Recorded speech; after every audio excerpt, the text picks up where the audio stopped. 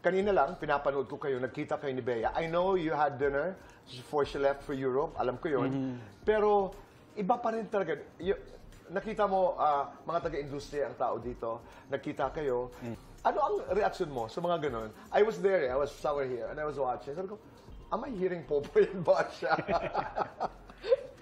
Ako, eh, kami kami ni kami ni Bea laging laging hindi mawawala yung bittersweet, yung nostalgic na pagka nagkikita kayo lalo pagka hindi inaasahan gaya today. Parang hindi hindi mo na siya madedenay na nag exist kahit sa hangin. Talagang, oh, ano, kahit nagkita kayo kailan lang, oh wow.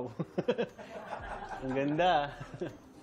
Ayan, oh. Oh. Um, hindi siguro mawawala yun, ah, yung ganong pakiramdam and and yung yung laging mong hangad na sana okay siya, ang pamilya niya, ah, especially ang nanay niya. So, yan, ganun, ganun lang lagi. ano ang hangad mo sa kanya ngayong ikakasal na at mag-aasawa na ang isang kaibigan? Gusto ko mag-enjoy siya. Gusto ko maging masayang masaya siya sa sa bagong yugto na pinapasok niya kasi mula noon kilala ko na siya hanggang ngayon. So gusto ko lang maging masaya yung isang tao napakabuti at hindi lang sa akin. Napakabuting tao niyan sa maraming tao sa industriya. Napakabuti niyan sa maraming staff, sa mga production na naging bahagi ng mga buhay namin.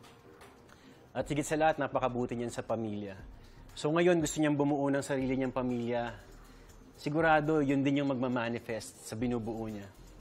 I'm really happy for Bea. At a certain point ba, na-bother ka, Lloydie, because of the very successful tandem na pinipilit kayo ng tao, naming mga fans, na sana kayo ang magkatuluyan? Ah, mahirap sabihin hindi. Um, siguro, para ako nagsisinungaling kung sasabihin kong kahit isang beses, hindi ako na ilang dun sa gusto ng tao. At hindi siya sumagi sa isip mo, di ba? Oo. Pero siguro yung as as people, yung kaming dalawa ni Bea, yung bilang part ng build namin na So, dun siguro isa yun sa mga pinaka-fascinated rin ako about dun sa paano namin siya hinandle nang hindi namin pinag-uusapan. Never namin pinag-uusapan yun eh. Pero pero siguro titigil na ako magsalita bago pa ako. You know what? Ako naman, let me talk as a fan. Everybody was rooting for you. Oo, the tandem was working. Ah, ang mga linya ng inyong pelikula inuulit ng sambayanan. Ah, that, that would have been a pressure. Pero iiwanan ko na rin yun.